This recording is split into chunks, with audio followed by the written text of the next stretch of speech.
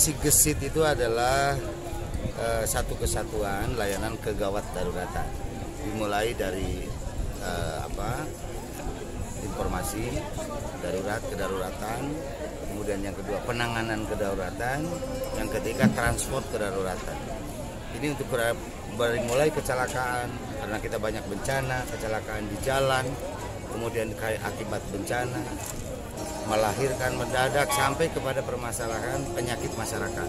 Sigesit diharapkan lebih mendekatkan akses masyarakat terhadap kesehatan, terhadap layanan kegawat daruratan.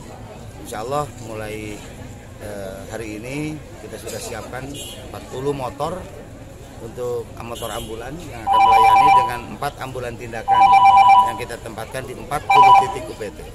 Kira-kira. 24 jam ini Pak untuk 24 jam. Kita memiliki call center di 4 titik, Cikatomas, kemudian Ciawi, eh, Cipatujah dan Singaparna.